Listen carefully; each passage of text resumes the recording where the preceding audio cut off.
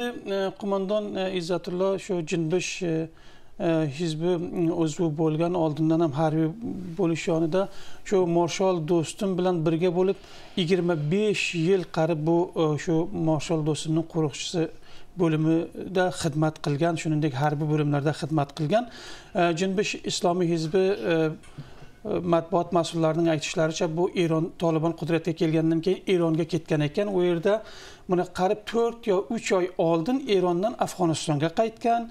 E, Afg'onistonning qandahor va hilman viloyatlarida oddiy ishchi bo'lib u yerda ishlar ekan. Keyin mana e, yaqinda uyiga qaytgan.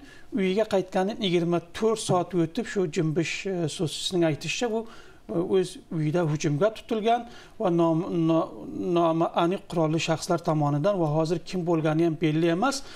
Jumbish matbuot mas'ulining aytishicha bu xususda jumbish tomonidan ham tadqiqot ishlar olib borilyapti. Ular bu shu joriy hukumat buning qotili kim bo'lganini tezlikda aniqlasin degan talabni ilgari suryapti va bu demak ular shu kabi talabni joriy hukumatga surishyapti ekan. E, joriy hukumat bu toliblar ular bu hodisaga biror munosabat bildirishganmi? Endi e, tolibon bunday hodisalarda o'zingizga ma'lumki tezlikda munosabat bildirmaydi. Rasman keyin e, bu masalani oydinlashtirish uchun men tolibonning sarpuldagi shu matbuot mas'ullari bilan suhbat qildim. Ulardan birining aytishicha bu kecha shanbadan yakshanbaga o'tar kechasi soat o'n ikki yarimda hujumga tutilgan shu jiyanning uyiga mehmon ekan u yerdan uyiga kelayotgan bir paytda kecha. Faqat e, hujumga tutgan shaxslar kim bo'lganini aniqlash uchun va bu xususda ko'proq ma'lumot qo'lga kiritish uchun tadqiqot ishlar boshlangan dedi.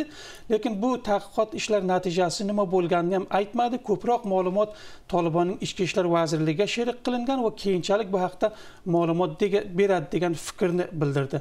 Endi mana so'nggi vaqtlarda tolibon hokimiyatga kelganidan keyin nafaqat saripul balki afg'onistonning boshqa viloyatlarida ham sobiq harbiylar shu nishonga olingani qatl etilayotgani turib etilayotgani haqida xabarlar chiqqandi.